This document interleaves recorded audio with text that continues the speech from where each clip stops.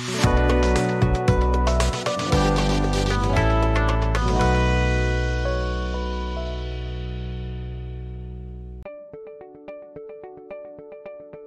and welcome to Edutrainex, your best buddy helping you study abroad or apply for visas.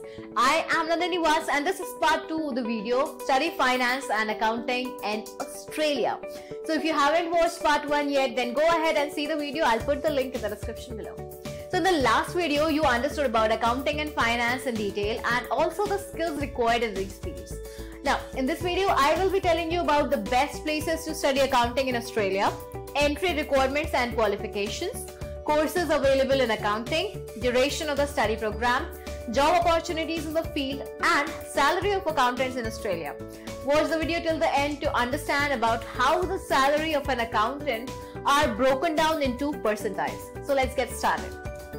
There are a number of bachelor's degrees in accounting, including minors in accounting and related areas of study, as well as bachelor's programs that lead to careers as accountants, auditors, or some of the alternate careers.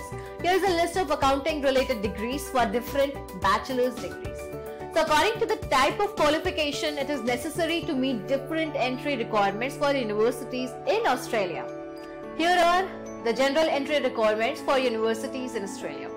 So Bachelor of Accounting degrees can lead to a wide variety of careers. The majority of graduates in this field become accountants or auditors, but there are opportunities other opportunities as well like uh, there are uh, several types of accountants including public accountants management accountants government accountants chartered accountants forensic accountants and CPAs that is chartered professional accountants. However, furthermore courses are Diploma of Accounting, Master of Professional Accounting, Bachelor of Accounting, Certificate 4 in Accounting, Associate Degree of Accounting, Graduate Diploma, Advanced Diploma and Graduate Certificate in Accounting.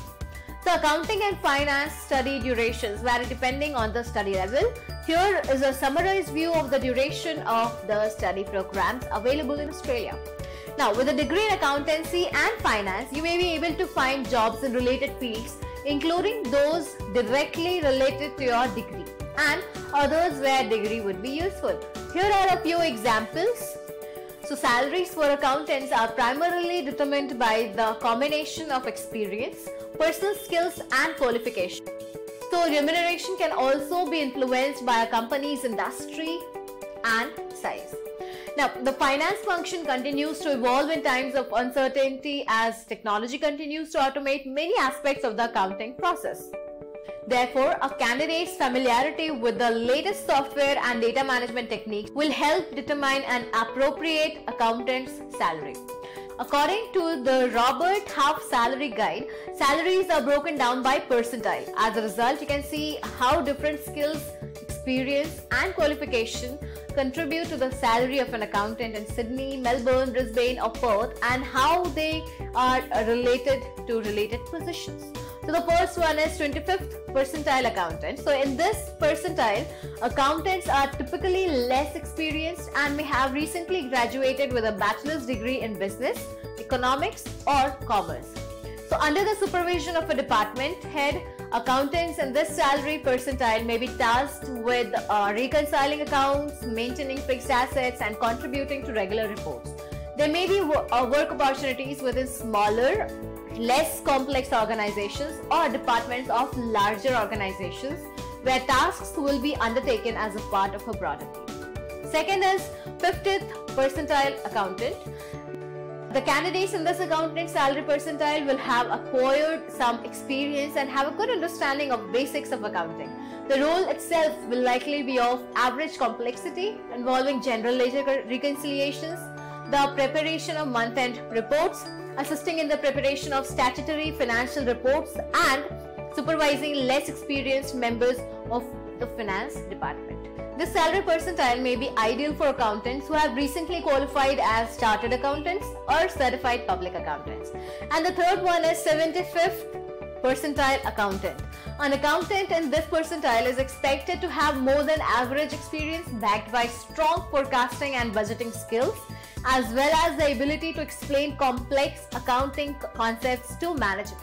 So in order to fit in this accountant salary range, you must have either the CA or CPA certification as the role is complex, often involving collaboration with external auditors and meeting statutory requirements.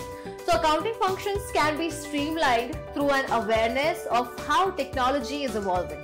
Employers may also compete for uh, qualified accounting talent within this salary band and industries with a reasonable level of competition.